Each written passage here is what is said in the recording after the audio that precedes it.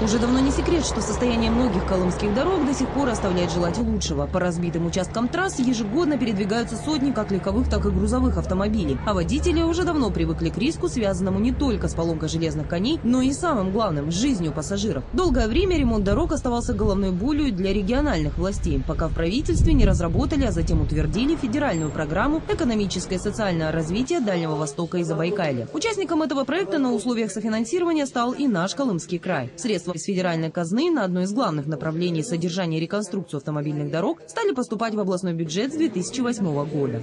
С 2008 по 2013 годы направленные финансовые средства в размере 4 миллиарда 576,5 миллионов рублей в том числе из федерального бюджета, бюджета 3 миллиарда 892,5 миллионов рублей, из областного бюджета 684 миллионов рублей. Именно благодаря этим средствам на главных колымских артериях закипела работа. Прирост автомобильных дорог в области за последние пять лет в целом составил более 80 километров, а мостовых сооружений порядка 10 тысяч погонных метров. Крупные ремонты и реконструкции производились на таких объектах, как Колымская федеральная трасса, дорога Магадан-Ола и палатка Кулуник-Сикан.